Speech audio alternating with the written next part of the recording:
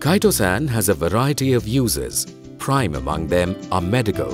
CIFT has developed high-quality chitosan for use in diets for treatment of obesity and cholesterol reduction.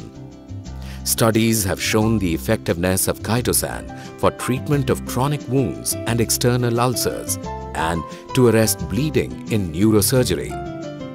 Chitosan also finds usage as artificial skin for burns and dialysis membrane for renal disorders. Besides hardcore medical functions, chitosan is also used as sizing material for cotton, wool, rayon and other synthetic fibers, making it a boon for the textile industry. In the preparation of cosmetics and pharmaceuticals, in contact lenses and periodontal applications, water clarifying agent. Chitosan also finds use in nanotechnology, in extending the shelf life of agricultural produce, as a foliar spray for vanilla, orchids and flowering plants.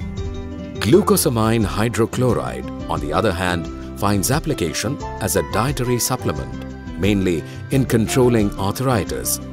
This makes it a high demand product with its current estimated demand being more than 2000 tons per month. But all of this didn't happen in a day. The invention took time to bear tangible results. Scientists of CIFT developed a universally accepted technology for the production of chitin from prawn shell waste way back in 1977.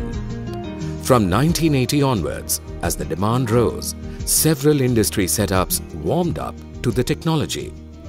The products were new in the market, but once their usability and efficacy got established, there was no looking back. We did find a market for chitin and chitosan because that was a new product in India and also around the world.